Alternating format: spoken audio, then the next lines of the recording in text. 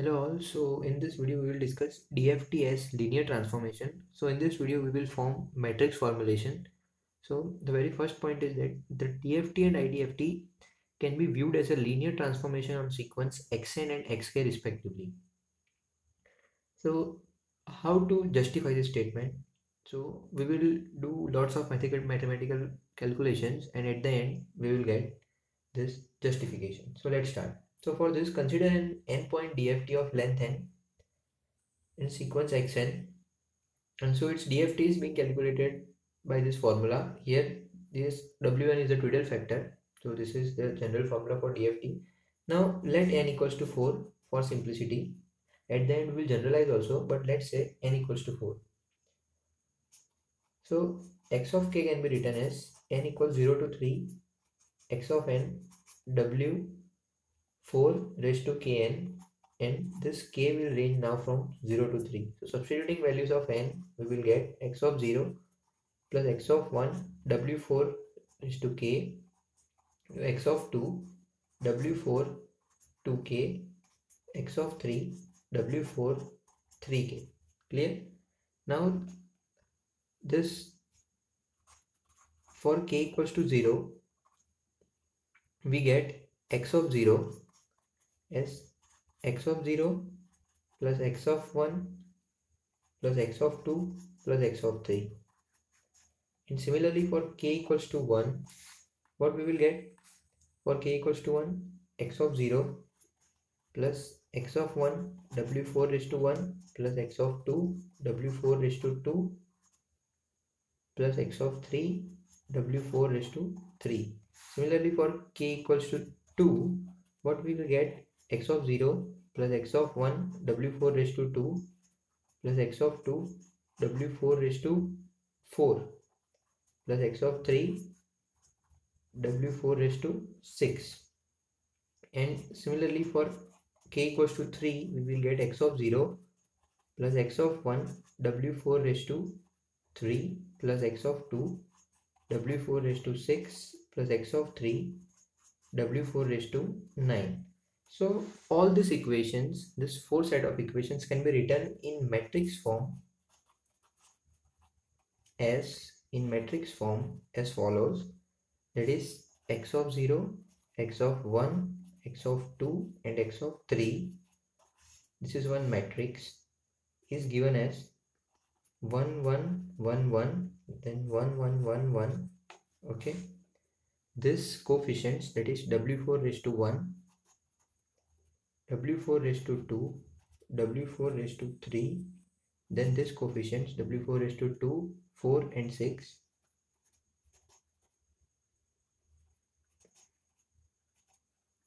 and then this coefficients w4 raised to 3 w4 raised to 6 and w4 raised to 9 just remember it's like this that this is 1 2 3 then table of 2 2 4 6 then table of 3 3 6 9 this table of 1 table of 2 and table of 3 so remember it like this. Now what we can write from this? From this we can write that x let me change the color that this x this is being written in bold which is representing matrix is equal to this w4 i'm just bolding it so that it can represent matrix. So all this represents matrix. This is the bolder version. So therefore what we can say this is for 4 point DFT so for general case for n point DFT what we can write? We can write it as x equals to w n into x. All these are in bold. So that we can differentiate that they are matrices. So these are x equals to wn into x. Clear? Just we have written in the matrix form.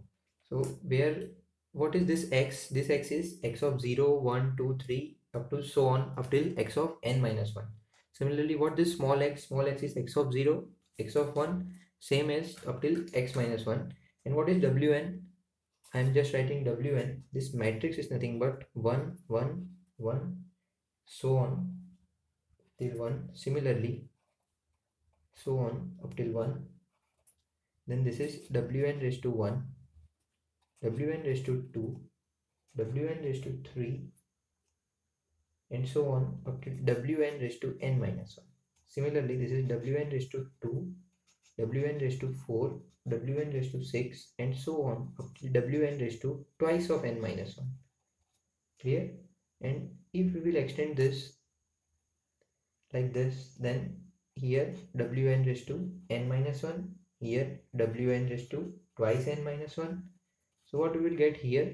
Here will be wn raised to n minus 1 n minus 1 because this n minus 1 will continue and this will come n minus 1 1 2 3 and so on.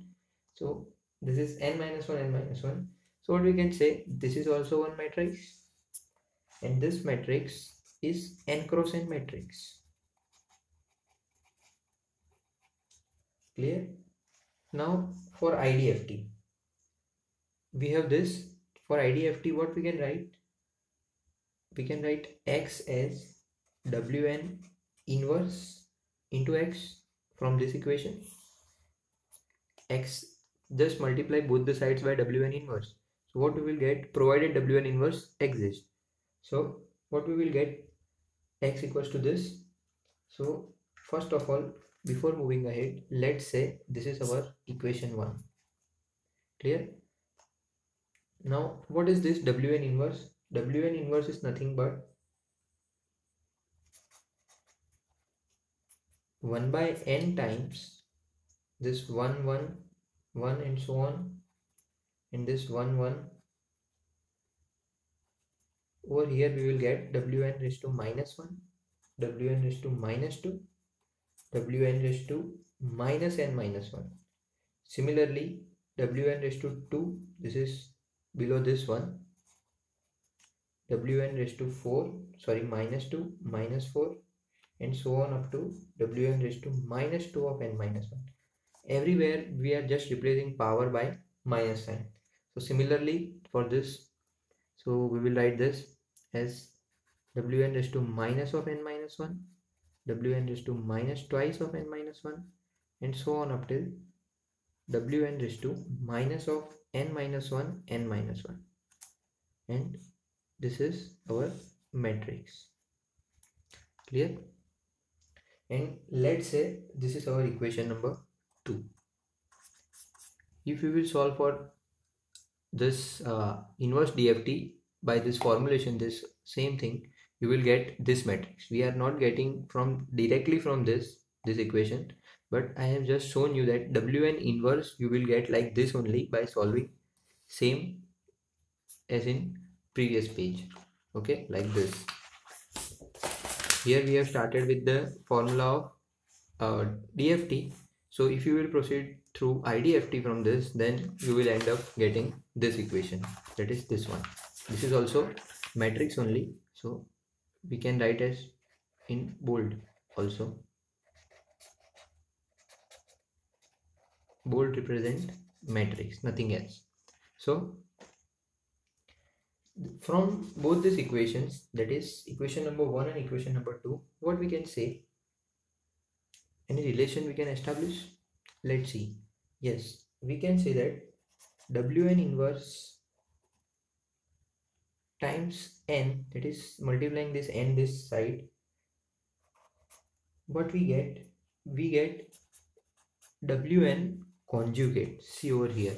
Everything is being replaced by minus sign over here in this matrix.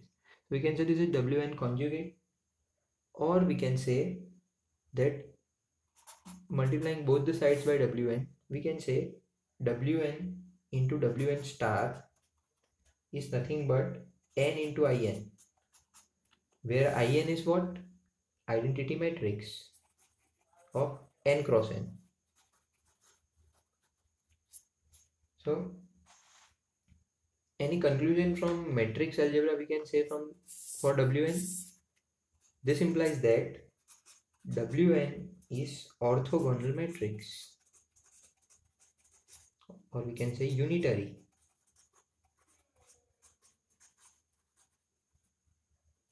Clear? So this conclusion we will draw we will use this conclusion in properties of twiddle factor and after that we will derive a matrix formulation for calculation of DFT because the conventional method is very much lengthy because we have to calculate first for different values of n and then we have to calculate different values of for different values of k. So it becomes quite a bit lengthy and so for that purpose we will uh, develop one mathematical formulation that is matrix formulation by using this conclusion only. So this will be done in next lecture